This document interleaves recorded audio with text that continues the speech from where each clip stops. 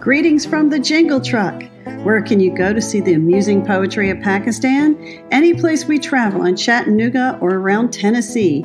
Poems adorn our vehicle to let people know that mother's prayers are the breezes of heaven and to not tailgate because if you get any closer, we might fall in love.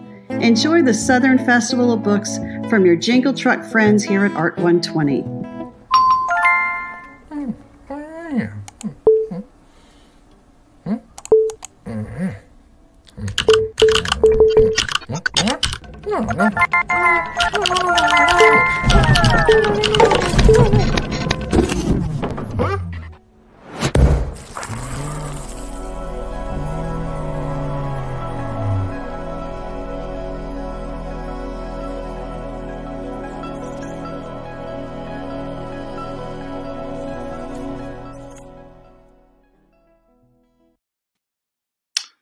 Hi, good evening, everybody, uh, and welcome on behalf of Humanities Tennessee. I'm RJ Jacobs, and I'll be moderating tonight's session with Joe Hill and Paul Tremblay. Uh, I'll start by giving both authors an introduction, and then I'll ask a few questions to get the ball rolling, and then we'll welcome some questions from the audience. We'll have about 45 minutes, and we'll wrap up about 8.30. And before we start, I'd like to thank our key sponsors uh, Metro Nashville Arts Commission, Ingram Content Group, Tennessee Arts Commission, Vanderbilt University, and Parnassus Books. Uh, and please note that there are links posted to support the author's books through Parnassus Books. And there's also a donate button that should be uh, at the bottom if people wish to donate to the festival. Um, I guess I want to start by introducing both authors. First, I'll start with Paul. Paul Tremblay uh, has won the Bram Stoker British Fantasy and Massachusetts Book Awards and is the author of The Cabin at the End of the World, The Disappearance at Devil's Rock, A Head Full of Ghosts, uh, crime novels, The Little Sleep, and No Sleep Till Wonderland, and the short story collection Growing Things and Other Stories. He is currently a member of the board of directors of the Shirley Jackson Awards and his essays and short fiction have appeared in the Los Angeles Times, Entertainment Weekly Online, and numerous best year's best anthologies. He has a master's degree in mathematics and lives outside Boston with his family. His new novel is Survivor's Song. Uh, Joe Hill. Joe Hill is the number one New York Times bestselling author of the novels The Fireman, uh, NOS4A2, Horns, and Heart Shaped Box. Strange Weather, his collection of novellas, and the prize winning short story collection 20th Century Ghosts. He is also the Eisner Award winning writer of a six volume comic book series, Locke and Key. Much of his work has been adapted for film and TV, including NOS4A2, Locke and Key, and In the Tall Grass. His new book is Full Throttle, a dark and ingenious collection of 13 compelling short stories that showcase his ability to push the genre conventions to new extremes. Welcome. Thank you, RJ. Um, I guess uh, we'll be taking some questions from the audience, but I guess I wanted to just kind of start by kind of asking a few basic questions to sort of get everything going. Uh, the first question I had was actually for Paul. Paul, I was wondering, this is probably an inevitable question, one that you've probably gotten a few times, but I'm wondering uh, as I got more familiar with your book, what it was like to have a book about a race for a vaccine and a quarantine being out right now during this time when the, the virus is so rampant. What's that been like? Uh, what's that been like? Uh, it's been, I don't know, uh, even more bizarre than usual to have a book out and people talking about it, obviously. Um, I, I wrote the novel from July 2018 to it turned in my final edits to my editor. Joe and I share the same editor, wonderful Jennifer Brehl. Turned them in October 2019. So, um, you know, you know, there's some weird quote unquote prescient stuff that happens in the book that's all credit, you know, due to my my sister who I use as research for the medical parts of it. But uh, no, it's been strange. I mean, like the the strangest part I think was just strange for everybody was when we first went into quarantine in Massachusetts or lockdown you know, mid March, you know, Joe, you probably get asked this too. Oh, as horror writers, you guys are probably really prepared for like this end of the world apocalypse stuff. I was like, no, no, I, I I'm a worst case scenario guy. That's what I write about. So my first two weeks in March were spent on the couch watching Animal Planet and uh, MythBusters in, in a sort of metaphorical fetal position. You know, it, I did not handle the, the early part of it well. Not that I'm ha- handling the, the now part of it well either, but you know, so I write I write comic books and I got boxes and boxes of my own comics in the basement.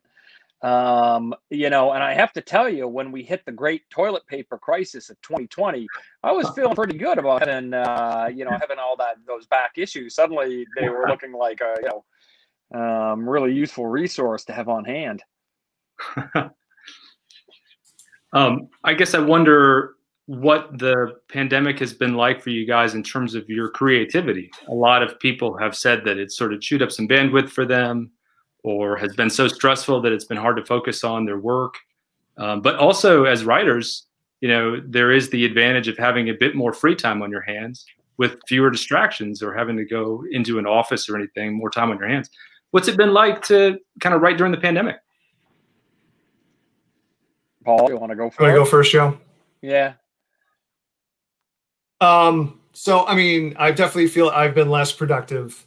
It's been very difficult, and it sort of goes in ebbs and flows, sort of depending on what's happening in the news. You know, I, uh, you know, when May rolled around and things were better COVID wise, and it started to get better COVID wise in my area of the country.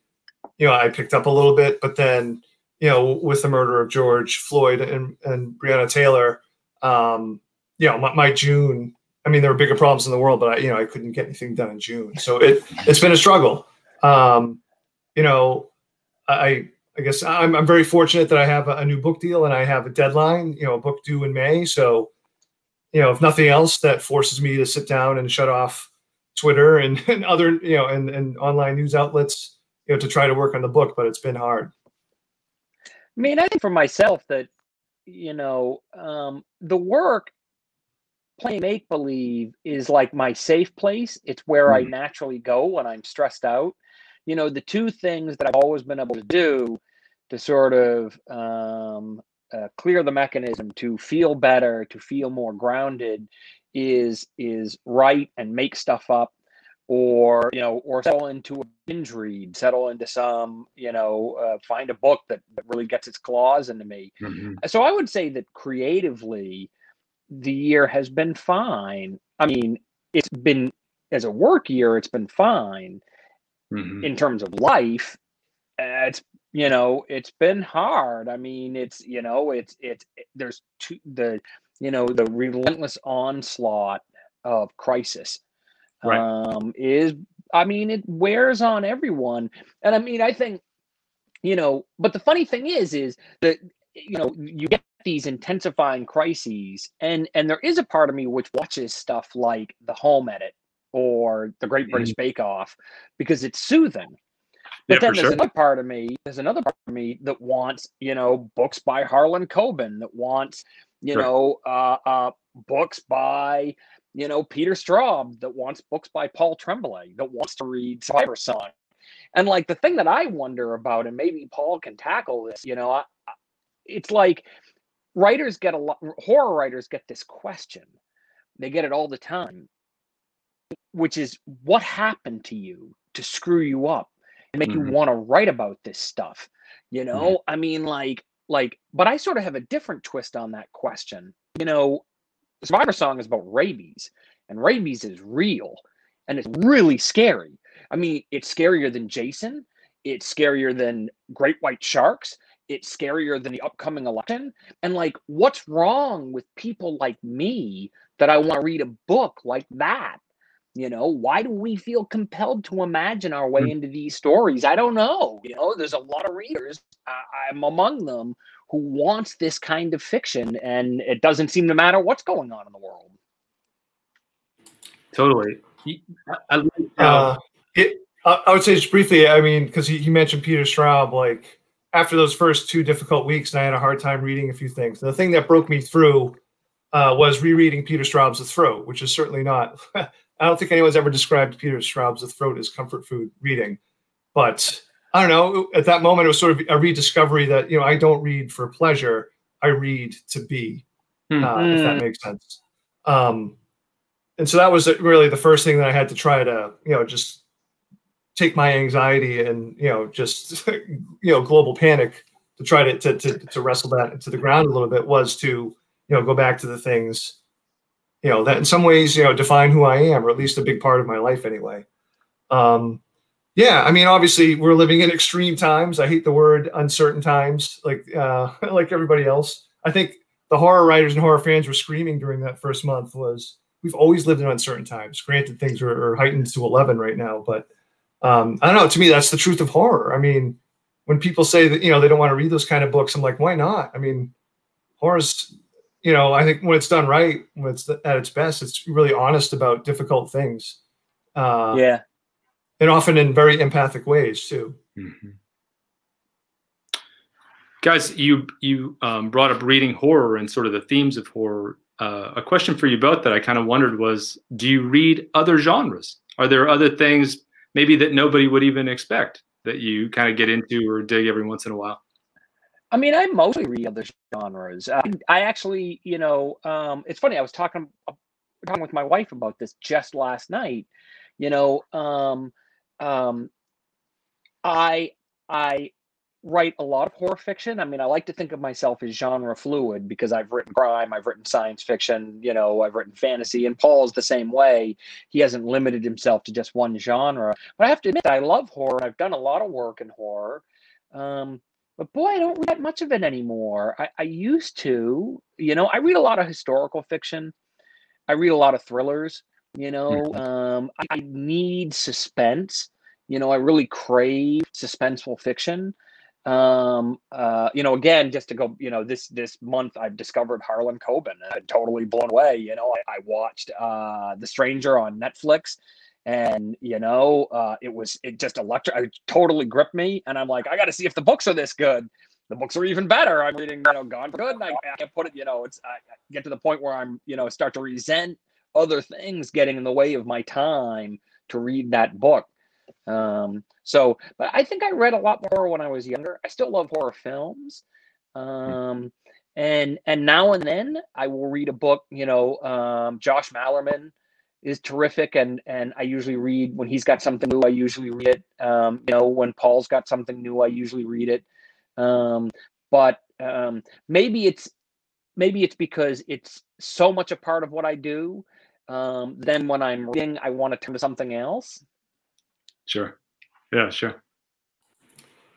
Um, yeah, I mean, I probably read mostly horror. I mean, my my view of horror is sort of like a, a, big wide umbrella, so maybe I include some things in horror that other people wouldn't, but I won't go down that road. Um, I think second place, I probably read a lot of just uh, what would be described as maybe literary fiction. Mm-hmm. Um, I I've been dipping a lot more into nonfiction, just random topics, uh, and doing those through audiobooks when I walk my dogs. I'm usually walking like mm-hmm. 45 minutes a day, so that's a fun way to do audiobooks. I think. I think maybe the one kind of book that might surprise people. Uh, you know, I'm a I'm a big sports fan, and I enjoy a good, you know, sports you know bio book or just a sports book in general. I'm trying to think of the last one I read um, I don't know, like you know, silly regional stuff. Like, well, not silly, but like Pedro Martinez's, you know, biography. I love Pedro. Um, I love Pedro. Or something like David Peace, like this wonderful British crime writer, David Peace, has written some soccer football books, and he wrote one called uh, "The Damned United," which is just wonderful. Um, it's about this British manager who sort of, uh, for for our, our American audience here, there was some British manager named Brian Clough, and he's sort of like Bill Parcells and, and Belichick, sort of smushed together. He just like, you know, would hammer the press, and the, and the, and the Brits ate it up. Uh, and he brought the small club to fame, uh, Derby, and he hated at the time the biggest club was Leeds, but he ended up getting hired by Leeds, and he was only there for like 55 days. It was a total mm. shit show. Um, and the, and the it's a novelization of that story of the 55 days where he knew, like he even felt like he was working for the enemy. So there's a question of whether he undermined everything on purpose. But you know, and David Peace, this really great crime writer, it's there's like suspense to it. It's it's a really wonderful book.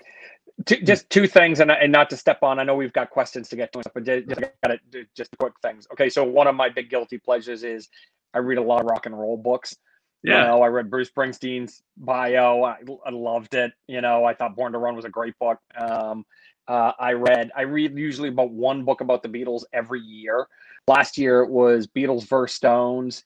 This year it was Dreaming the Beatles. Oh yeah, I love it. You know, I just read a lot of rock stuff. You know, um, um, Paul David Peace. Did he do the Red Riding trilogy? And did you read Yes. it? I don't think it's Yep. it's not a trilogy, right? It's like four books. It's a quartet. Yeah, yeah, quartet. and was good. Yes. Um, it's funny. The there's a BBC miniseries that's three, but he wrote four books. So like the So it is- BBC thing is a trilogy. it is about the hunt for a serial killer and it's four books and it's spread across like 10 Yep. years right so i kind of love that because because when books usually are about the hunt for a serial killer they tend to pick one detective and make that the main character and follow that character until that that Mhm. detective catches the serial killer at the end of the book and the Right. truth is that that real life hunts for serial murderers for sequence killers um, tend to be spread across a decade or two and involve multiple investigators and people with different skill sets. And I don't know that that's what the David Peace books do, but I kind of love the idea that they do just because it seems like such a more authentic representation of what that work is like. Yeah, it does. I mean, I think it follows uh, a, a case based on real life, um, but also the the BBC three three movie miniseries. It's one to me. It's like one of the best like series of books and series of movies. Like in terms of like Really? they're both really wonderful. Yeah, really great British actors. Um, I'm I, I forget half their names, but including uh, Bean. His last name is Bean. He played uh, Sean Stark. Bean? yeah, Sean Bean? Sean Bean's yeah, in yeah, it. Yeah, Yeah, yeah, yeah. He's great. He's died Um, like he's died like uh uh in almost every film he's ever been in. And Yes, also if you just yeah. want to entertain folks at home, just want to entertain themselves for seven minutes, if they just want to feel better about the word, about the world, Google Sean Bean bastard supercut. It's a supercut Sean Bean, Bean saying bastard in like 50 different movies. Apparently it's like the word he said most in in like his film career and he, he nails it every time. It's like one of his great expressions. Bastard. So I highly recommend I highly recommend checking it out. Um, you guys, there is a, a question from Tracy from Delaware, and she's eager to know um, about things in real life that are very scary to you. Mm. Oh, besides everything, Rabies. Rabies. Rabies, rabies is messed up, man. Yeah. Rabies messed can up. kill you. Rabies can kill you from fear. It because it messes your brain up and it gets every it it you know and and people die from terror when they have that. Can you imagine a more awful way to die? I can't. I can't. no. I I'm scared of sharks. Yeah, corgis are scary. Corgis are not scary. It's I'm supposed to be a fox, my rabbit oh. fox. Yeah. I'm Yeah. I'm I'm scared of sharks, and I've seen Jaws like thirty times. And even when I'm swimming in a lake, I can close my eyes and picture the shark coming up beneath me and kind of scare mm-hmm. myself, even though the lake is fresh water. You know. Oh, yeah. Same. I my father took me to see Jaws when I was 10 going on 11. Uh, It was on a big screen, but not in a cinema. It was at our local high school. For some reason, they were showing Jaws. And you know, the best part of this was my dad totally undersold the movie to me. He said, "Hey, we're gonna go see this movie called Jaws. There's a scene in it that captures the feeling of what it's like to catch a fish while you're fishing, fishing better than any other movie you've ever seen." Now, he was correct. You know, the scene where Quint's eye in the line where it starts to tick. Yeah, that really captures fishing. But Yeah. uh, the rest of the movie, particularly when Quint dies, uh, Yeah, you know, scarred me. I literally had from age 10 to 16, maybe even 17, embarrassingly, shark nightmares almost every week. Every dream I would have, I would end up in the water and get attacked by a shark. But it hasn't stopped me from watching the movie. Yeah. I had a lot of zombie nightmares. Yeah. So yeah, what else? I mean, perfect- Tracy. Sorry, go ahead. I was just going to say there have been three perfect works of art released in my lifetime. I know Paul will agree with this or not, but I three that I know of: Jaws, Cloud Atlas by David Mitchell, What's the Story, Morning Glory by Oasis. That's it. There's there's three times. Uh oh. Uh-oh. Was there one? Oh, You I deserve to get booted off for m- mentioning Oasis as a perfect album. Yeah, I think. Oh, Jesus. yeah, Oh, will you stop? Yeah. No. That's I can, you know, old, I'm an old cranky perfection. punk, so I would choose Zen Arcade by Husker Du as my favorite you know, piece of perfect art. Um, we'll go with Jaws, though. Uh, book, I don't know. I might choose House of Leaves, or or uh, what? Uh, we've always lived in the castle. I don't know. oh, someone asked, "What if I decided what I'm going to do with Up the Chimney Down yet?" I don't think Up the Chimney Down is going to be the next book, guys. There was I did talk about a book I was working on. I got a couple hundred pages of Up the Chimney Down. I really like what I got. I don't think it's the next book. I'm I'm working on something else right now. Joe, I had a question for you, and you were kind of making a distinction before about being a reader and a writer, and kind Yeah. of participating in both ways. And it kind of made me wonder about the process of co-writing and what that's been like for you. Oh yeah. So um, so um my so my new collection is Full Throttle. It's a collection of 13 stories. Actually, it's 14 because I hit a story in the back. Um, um, and I wrote I wrote uh, uh, two of them with my dad. Um, my dad is also an up and coming writer. Um, he's he's had a couple books um, that have done pretty well, um, and he shows tremendous promise. And and you know I'm hoping he'll stick with it um, because I think you know there's no telling you know sky's the limit um, in a lot of ways. But so we wrote a you know um, my dad and I wrote a story together called Throttle. Um, there was a spin on Richard Matheson's uh, novel Duel, which was also st- made into a film by Steven Spielberg, was Steven Spielberg's first film. And then Dad and I also wrote a story called In the Tall Grass, which is in full throttle, and that was made into a Netflix film directed by Vincenzo Natali. And um, and I've said this a bunch of times, but you know, the experience of writing with my dad is uh, uh, a little bit like something out of the Roadrunner cartoons. You know, I, I feel like while I Wile E. Coyote unpacking rocket and lighting the fuse and climbing on top, you know, and going after the Roadrunner, my dad is the rocket. You know, he's just it's just this incredible forward motion, and all you can kind of do is hang on for dear life.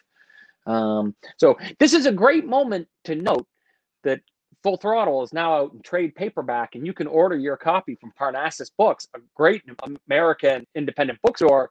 While That's you're exactly there, why not why not stop and, and get Survivor Song by Paul Tremblay?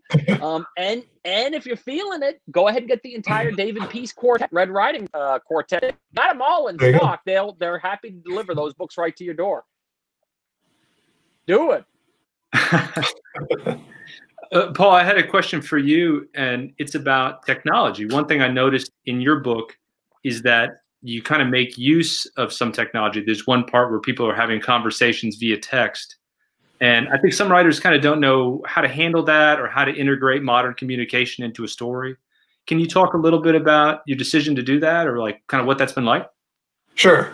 Um, so I don't know, especially when I first started, sort of in the horror community, the horror writing community, which which can be kind of small and insular. And I don't know if this is specific to horror or genre fiction in general. Um, but you know, there's this sentiment like, oh, like you have to work on, or you have to write a story with the idea of deathless prose in mind, which to me is like the most ridiculous thing, like I think any writer could ever think of. Like, where's the line for deathless prose? Is it, you know, what year? Is it 19? Is it before cell phones? Is it before I don't know Walkman? Is it before like a, a refrigerator that you didn't have to stock, you know, with ice? Like, there's no such thing as deathless prose. So, um, you know, it's hard enough to worry about writing a story that is going to affect you know people emotionally today. So I'm always just thinking about, you know, how am I going to best serve the story? I'm trying to hook readers of right now. You know, whether or not like 50 years from now, mutants, mole people are, are still going to be around to read our stories. You know, I don't know. Um, you know, so that said, I really try to make sure that if I put something in like a text exchange or, or you know, a reference to Twitter or something like that, you know, it just can't be there for show. It, it has to be there to serve a purpose. It has to sort of help build the story. Um, and it's it, I, I look at it almost as world building. You know, for example, um, William Gibson's Neuromancer. You know, for for many people of, a, of an age much younger than me, you know, if you read that first paragraph or the first line where the sky is the, the sky is gray, like it's tuned to a dead you know TV channel or something like that. You know, you may not necessarily know what that means, but within the context of the story, it's perfect and it builds it's it builds still Neuromancer's world. You know, it, it's not dated in the least. Um, so I think if you do your job as a writer, make Mhm. whatever references you're making, like they have to be important, integral parts of the story, then it sort of takes care of itself. If that makes sense. Total. Yeah, I sense. mean, s- sooner or later, all fiction becomes historical fiction.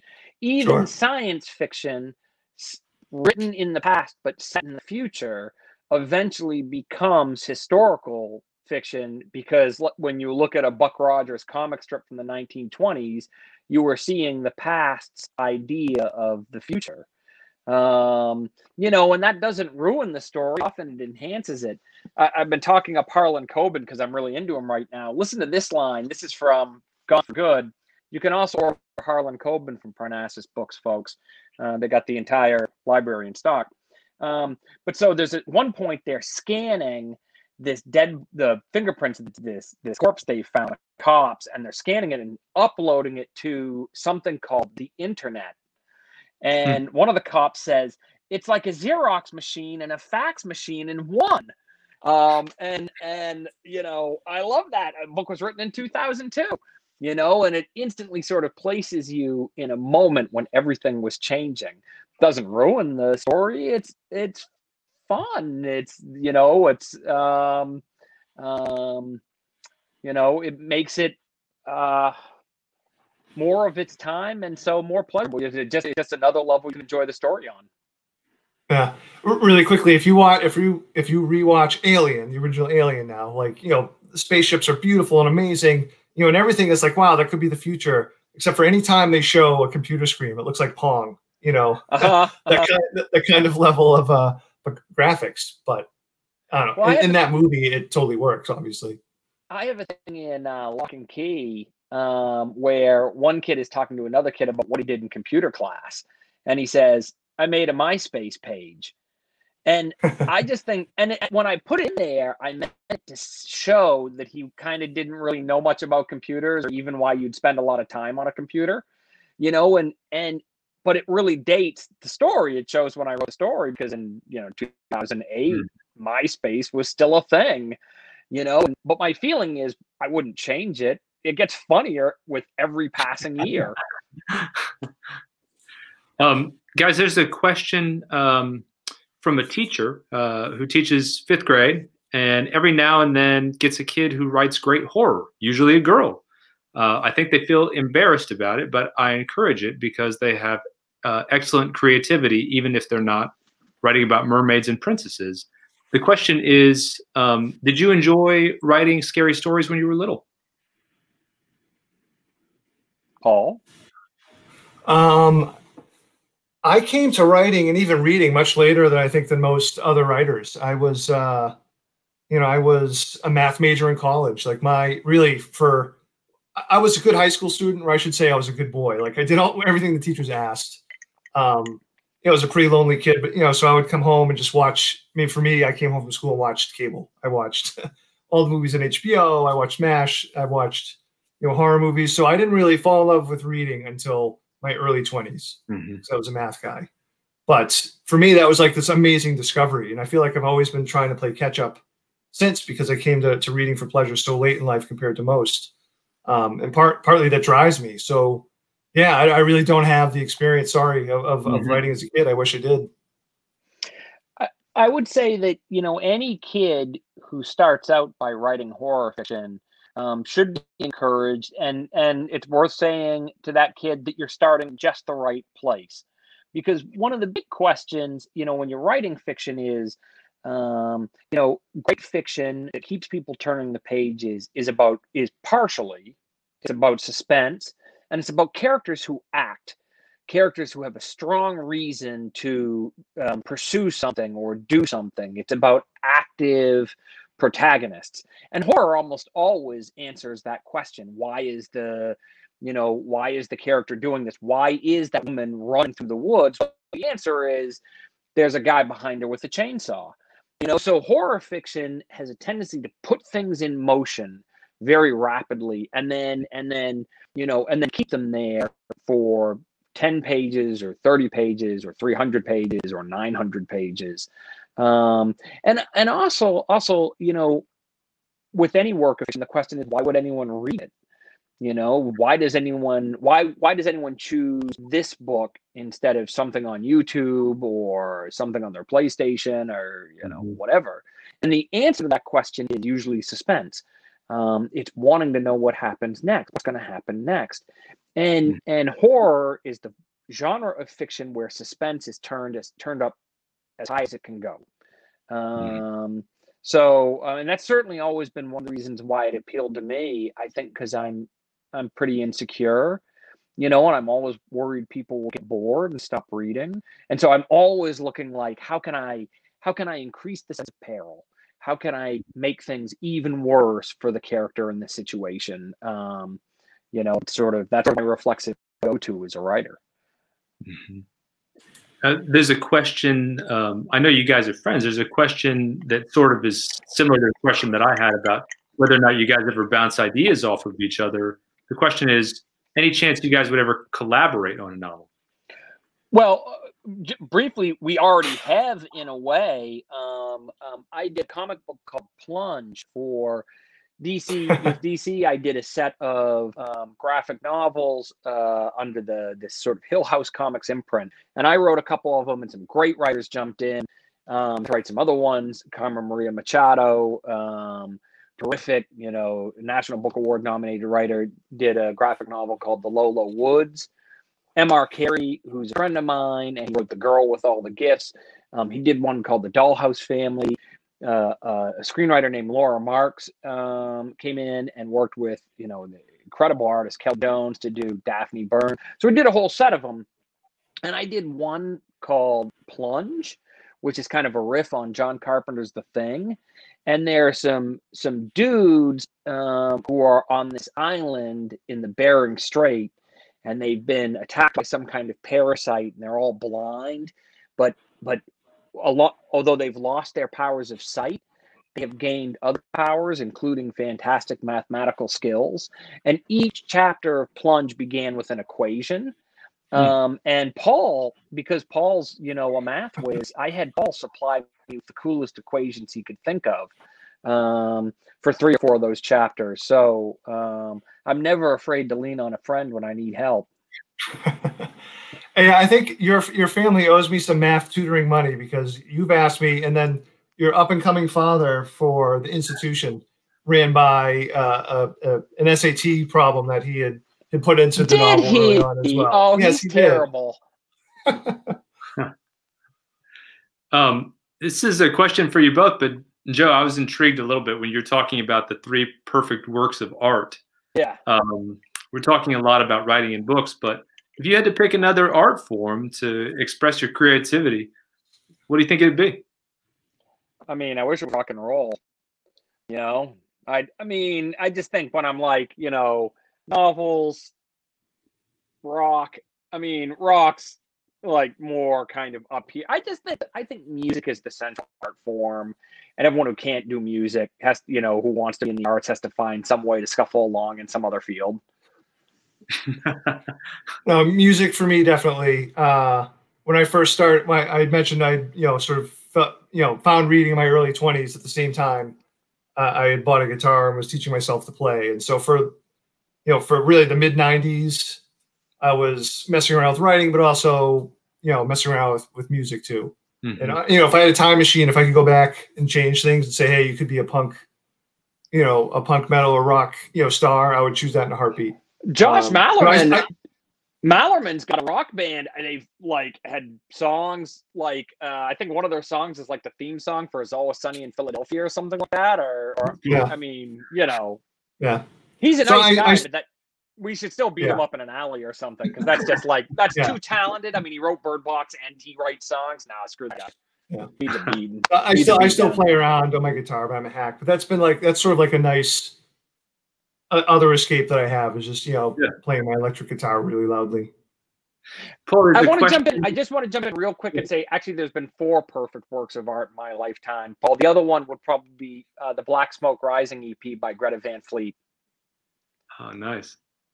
Haven't heard it. Sorry. uh, Paul, there's a question. Um, did the two teen boys in Survivor song also appear in Disappearance? Were they recurring characters? Uh, yeah. Spoiler alert, I guess. But yes, Josh and Luis from Disappearance of Devil's Rock uh, do make an appearance in Survivor Song.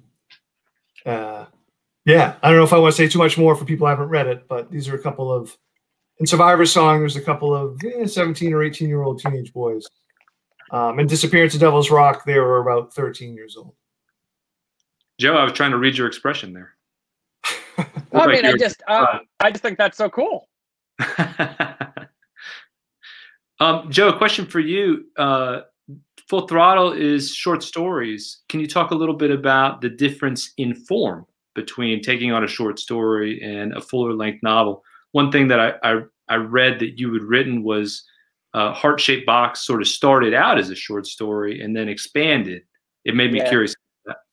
When I when I was writing, that was back like uh, in 2004, 2003, um, and I was writing short stories that kept trying to turn into novels on me.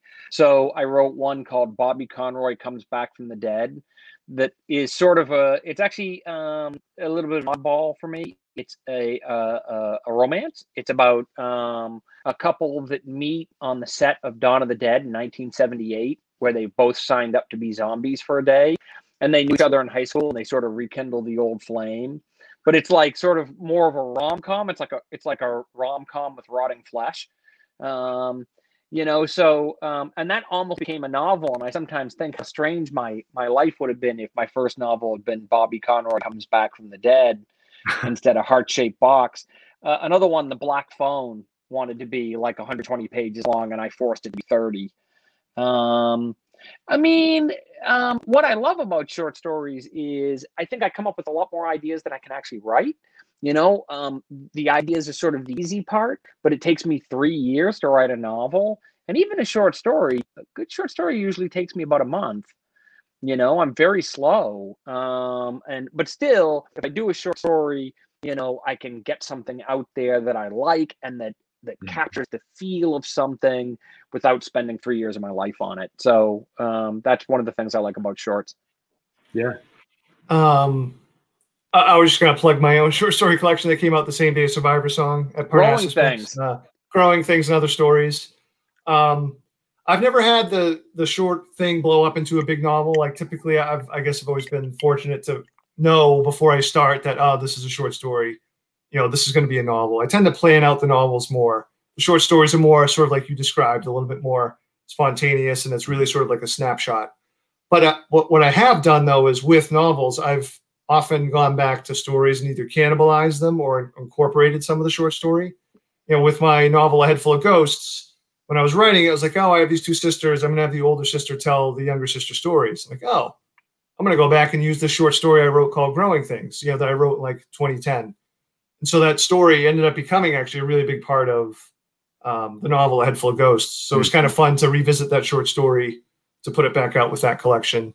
Um, so I know, I've done that a few times. You've ever cannibalized something or or shorter work? I mean, and, all the time. A, a lot of a lot of my books, a lot of my books have actually secretly been best of collections in the sense of being the best bits of books I couldn't finish. You know, um, uh, I spent like three years writing a book called The Fear Tree. Um, I wrote a bunch of books I couldn't publish, you know, between about 1995 and 2005. Um, and the one I spent the most time on and I think the best was the Fear Tree. Um, I spent three years on that. I couldn't sell it anywhere. Um, but there were concepts in it that I thought were pretty shiny that I really liked. And um, the reason I would never, you know, I would never want the Fear Tree published now is because I cannibalize all the best bits for horns. Hmm. Um, guys, there's a question about what you all are working on right now.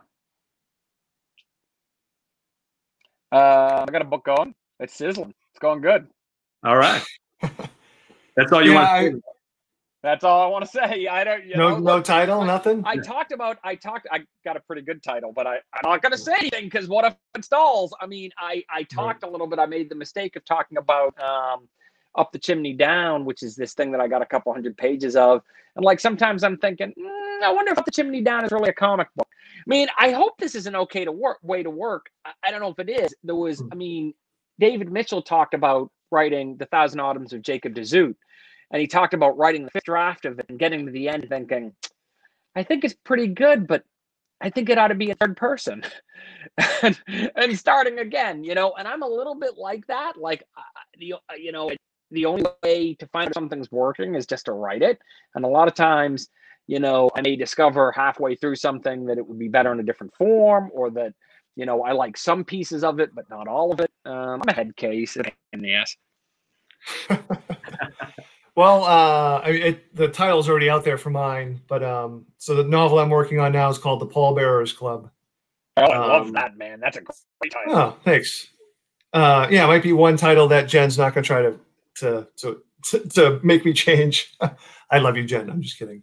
Um, yeah, so it's due to her in, in May. Um, I don't know if I'm about maybe 40% done ish, maybe. I'm not sure.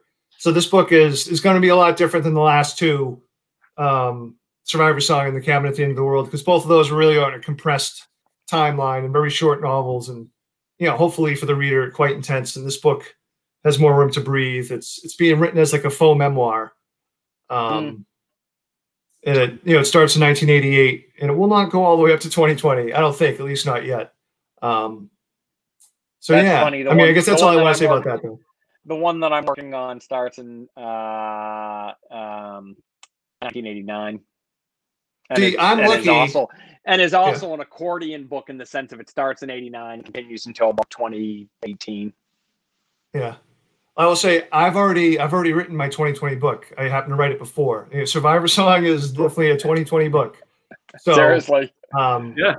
I i had the idea for the pallbearers club last fall before everything. So that was nice too like i just sort of let the idea stew for a little bit because I, I, was writing uh, you know some short stories and some other stuff so um, I don't know. I, I, feel okay about it, but you know, like you were saying, in the middle of it, I don't know about you and me. In the middle of it, it's like I never think it's good, mm-hmm. but I'm sort of used to feeling that way. So I'm at a point where it's like I'm just going to muscle it through, and then hopefully I figure it out at the end.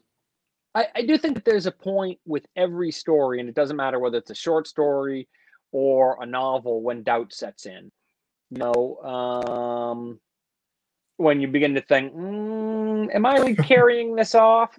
um, and most of the time i think you just have to you know that's that is actually the essence of the job is you know um, is to push through it that that's that's the job is about carrying those self-doubts mm-hmm.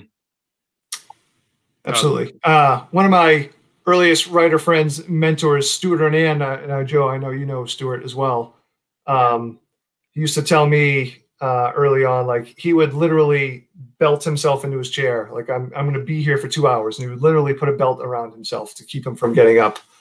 Um, other my other favorite Stewart O'Nan story I want to tell really quickly. When I was writing Disappearance at Devil's Rock, I was really struggling with it because you know in the glow of being done with a book, every book feels like, oh yeah, that was kind of easy to write when you're done with it. Right. So I had finished a head full of ghosts. I was like, oh, that book was so easy to write. Disappearance at Devil's Rock is so hard. I think this sucks you know, I sent Stewart this long email, you know, sort of looking for, hey, kid, you'll be okay. You, you know, it's a good, you know, you're a good writer, blah, blah, blah. He sent me back one line, but it was the perfect line. It was what I needed to hear. He wrote back, eh, not everything, not everything you're going to write is going to be great. That's all he wrote. And I started laughing and I, I just exhaled this big sigh, uh, you know, relief. And just, and then I went and wrote the rest of that book. It was very freeing. Funny. Yeah. Um, guys, I'm looking at the time. It looks like we've got about a minute and a half. Um, there's a little bit of a question about some research and how you guys approach that um, versus kind of making stuff up. Um, I'll just say briefly that you know I was nodding firstly when Paul talked about all the nonfiction he's listening to. I also listen to a lot of nonfiction. I think people dig podcasts, and mm-hmm. I've listened to a couple podcasts but I think a lot of times I'd rather listen to long form journalism um, on a subject that might be helpful.